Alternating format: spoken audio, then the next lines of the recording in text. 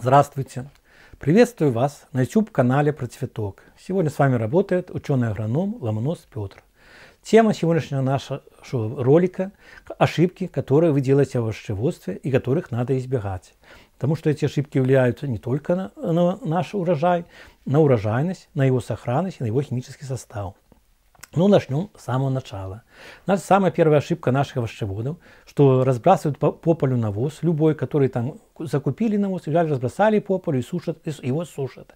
Это опасно осенью, особенно опасно весной, под яркими лучами солнца.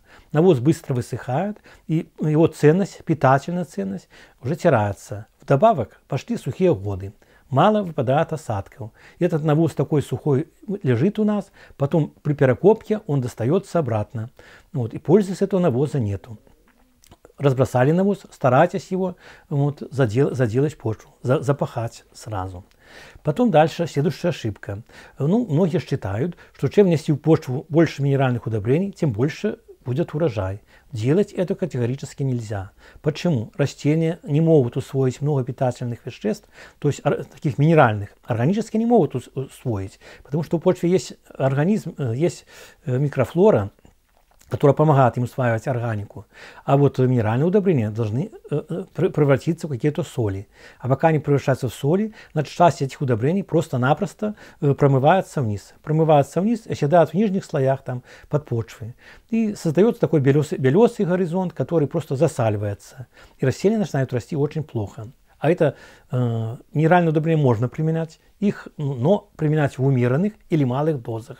Малые дозы и лучше в виде подкормок дадут больший эффект, чем основное внесение удобрений. Следующая ошибка наших огородников. Многие делают теплые градки. Делают теплые градки и туда вносят биотопливо.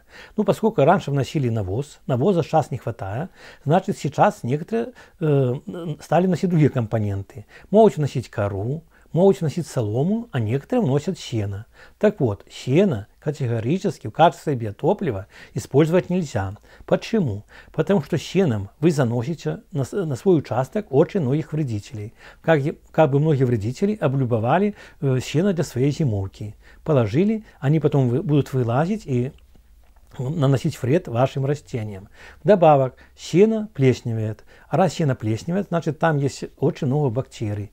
Очень много бактерий, э, процессы происходят как по принципу гниения, выделяются антибиотики, и поэтому наши овощные культуры растут очень-очень-очень плохо. Э, многие огородники допускают такую ошибку.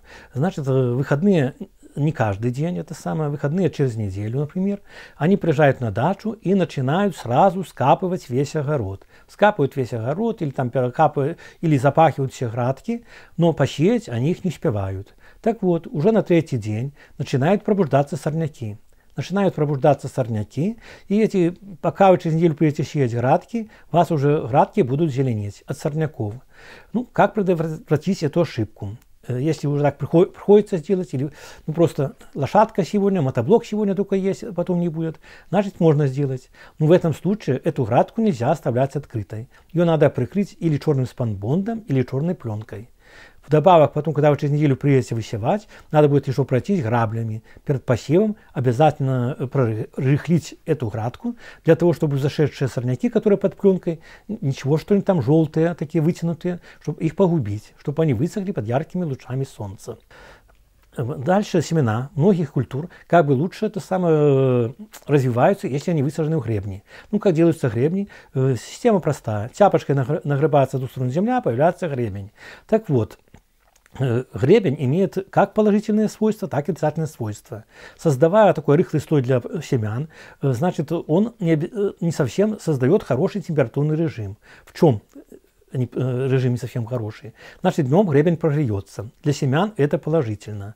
А вот весной гребни могут остывать. И вот заметим, что если разница остывания гребня может составлять до 4 градусов, наверху гребня э, будет температура ниже на 4 градуса, чем на поверхности. Поэтому если на поверхности 0, наверху может быть мороз, иначе семена погибнут.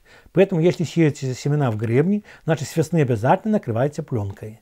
Ну, замечу сразу, что пленка как бы смягчает действие, э, пленка, э, значит, однослойная пленка, может быть там разница между температурой на 2 градуса, а вот если положить два слоя пленки или положить спанбонд и пленку, разница уже 7 градусов. Поэтому это очень существенно. Когда вы редко бываете на даче, нет возможности часто приезжать, и бывают заморозки. Если у вас накрыта пленка со самонбодом, присыпаны ваши посевы, значит это гарантия, что у вас все сохранится до вашего приезда, не, не, не, не померзнет.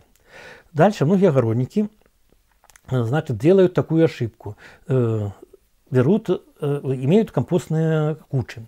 И вот на эти кучи компостные что выбрасывается? Загнившие овощи выбрасываются, где-то не скушенные овощи, картофель подгнивший. И вот э, даже там и тыквы, там могут разные культуры прорасти, э, появляется такое буйство разных всходов. И вот кто-то так сердобольно берет эти всходы и берет пересаживает в градку. Категорически этого не делайте.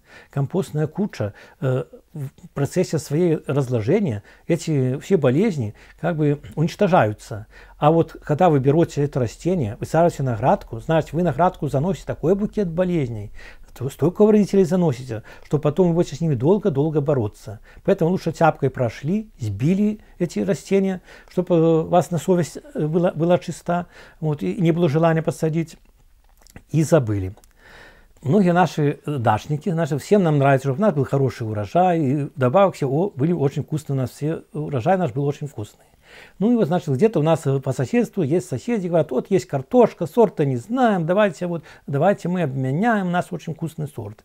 Вот, и, на, и этот э, обмен, который мы делаем с владельцами, мы смотрим постоянно за сортами, мы там обновляем сорта, и вот мы приносим от соседа картошку, начинаем радостно ее высаживать. И когда начинаем копать, мы замечаем, что там и желтая, там и красная картошка есть. В общем, это живая смесь. Но мы еще не знаем, что вместе с этой картошкой она, возможно, уже давным-давно выращивается без названия. Значит, мы заносим инфекцию, мы заносим боле болезни. Где-то там могут притаиться маленькие это самые яйца насекомых, вот, которые вредят. Мы заносим насекомых. Поэтому не занимайтесь этой работой. Если вы постоянно проводите сорты обновления картофеля, э, покупаете э, в проверенных фирм посадочный материал высоких репродукций, вам нечего меняться. Вот. Э, вы просто обращайте внимание на характеристику. Если продают сорта картофеля, там написано и разваристость, и для чего он идет, на пюре, на жарку. Исходя из этих вот, отдайте больше денег, но вы будете быть уверены, что вы не впустую займете землю. А так такие сорта, которые у кого-то очень вкусные, но дают мало урожай, поэтому вы получаете не выигрыш, вы, получ, вы получаете про, проигрыш. Ну и дальше, как бы э, земли мало, и вот э, огородники тоже начинают на одном месте садить вот э, как бы постоянно лук, там чеснок, все это о чем, э, если будете садить постоянно, большинство культур овощных не выдерживает монокультуру, то есть расти на одном месте. Вот приведу вам такой простой пример. Ученые поставили опыт. Поставили опыт, взяли в ящик, посеяли салат, собрали прекрасный урожай. Потом в тот же ящик добавили удобрений, посеяли второй раз салат. Урожай был плохой. Третий раз убрали урожай – внесли удобрения, посеяли салат, он вообще не взошел. Видите, вроде бы одна культура, а даже вот такая монокультура три раза посадили, почве накопились токсины, отравляющие микроорганизмы, э, которые вредят растениям, и они не дали всходов. Поэтому с монокультуры, э, культуры, которые выдерживают немного такую монокультуру, которые 2-3 года на одном месте можно выращивать, с овощных не так уж и много. Это картофель, кукуруза и помидоры – все остальные культуры старайтесь менять местами. Старайтесь для того, чтобы родственники, э, картофель не рос по помидорах, помидоры не росли по картофелю. Потому что это прямой, прямой путь к инфекции. Следующая ошибка, которую делают наши огородники. Значит, замочили дома семена. Замочили семена, семена даже, может, уже вас и проклюнулись, это самое, где-то вы продержали, прорастили. Приезжаете на градку, времени у вас мало, сеете некогда, родочки сделали, семена вкинули. Вы вкинули, через неделю приезжаете, а у вас ни одного всхода. А почему? Потому что сухая почва забирает из семян, вот этих семян забирает влагу. Она их высушивает, и не факт, что последующий полив поможет. Тут надо сделать все очень просто. Сделали родок, обильно-обильно полили, высеяли семена на, на мокрое такое ложе и засыпали сухой землей. Влага будет постепенно подниматься к семенам, и они прорастут и дадут вам хоро хороший, хороший урожай. Потом еще э, опять же, теряются урожай наши за чего огородники. Последнее время, ну это не такое последнее время, я скажу, это с 96 -го года стали очень популярны лунные календари. И сейчас расписано, когда хорошие дни сеять, когда плохие дни сеять. И у нас так фанатично некоторые огородники сеять, что пропускают нормальные агротехнические сроки. Пропустили эти агротехнические сроки и получают низкий урожай. Несмотря на то, что посеяли вроде бы по лунному календару оптимальный, оптимальный день. Вы э, представьте, на производстве овощи выращиваются на тысячи, тысячи гектаров. Представьте, что там кто-то пришел, сегодня сеять не будем, будем, э, лунный день не благоприятствует. Так, а урожай, заметьте, там сеют не по лунному календару, там сеют по техническим срокам, и урожай мы можем позавидовать. И капуста, и морковка там вырастает гораздо-гораздо лучше, чем на нашем участке. Доверяйте лунному календару, доверяйте. Но в то же время я в своей практике убедился, что растения больше верят э, не лунному календару, а энергетике, которая исходит от вас – если вы высеваете, высаживаете семена с настроением, желанием, растение также, это передается растению. Оно вырастет хорошим и отблагодарит вас э, прекрасным урожаем. А если вы уставший, э, э, еле волоча ноги, будете просто, что сегодня благоприятный день, что-то забрасывать в землю, поверьте, никакая луна вам не поможет хор хороший урожай. Следующая ошибка, как бы с этих, выращивая разные э, культуры, в последнее время многие выращивают физалис. Вот. И вот эта культура как бы на пакетике информации немного, написано, что можно выращивать в теплицах. У вас растут э, помидоры, огурцы, салис и физалис. Когда-то такую ошибку допускал, допустил и я. Э, три растения физалиса уничтожили э, теплицу 8 на 3 метров. Они настолько разрослись, что они заглушили и огурцы, и помидоры, они все-все заглушали. Ну, еще один совет вам, чтобы вас не утомлять, это по баклажанам.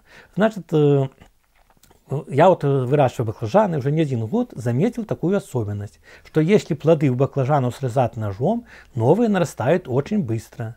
А если их просто срывать с куста, значит э, плодоношение у растения останавливается. Ну, есть, конечно, и другие советы, такие довольно интересные, ну, не интересные, но, но которыми хотелось бы донести до вас. Если вам нравится, смотрите наш канал. А вот а вам успехов и меньше ошибок на своем дачном участке. До свидания. Thank you.